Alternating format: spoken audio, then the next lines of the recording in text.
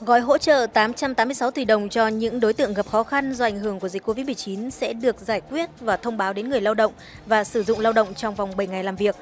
Có 6 nhóm đối tượng được hỗ trợ đợt 2 này, gồm người lao động tạm hoãn thực hiện hợp đồng lao động, nghỉ việc không hưởng lương, người lao động bị chấm dứt hợp đồng lao động nhưng không đủ điều kiện hưởng trợ cấp thất nghiệp, Người lao động tự do bị mất việc do ảnh hưởng của dịch Covid-19, hộ kinh doanh phải dừng hoạt động, thương nhân tại các chợ truyền thống.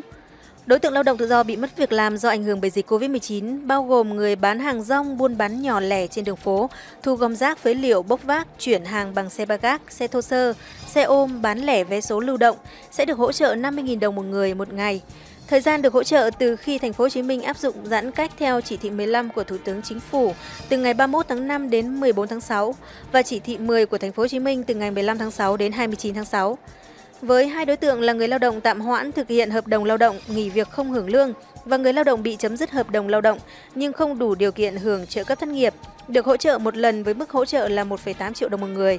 Phụ nữ mang thai và người lao động đang nuôi con nhỏ chưa đủ 6 tuổi được hỗ trợ thêm 1 triệu đồng một người.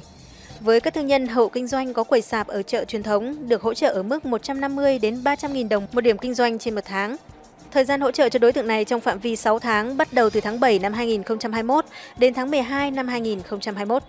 Bên cạnh đó, với các hộ kinh doanh cá thể và các hộ kinh doanh thành lập theo luật doanh nghiệp đóng trên địa bàn quận Gò Vấp và phường Thạnh Lộc, quận 12, cũng như các khu vực áp dụng giãn cách theo chỉ thị 16 của Thủ tướng Chính phủ, thành phố Hồ Chí Minh hỗ trợ một lần với số tiền là 2 triệu đồng một hộ kinh doanh.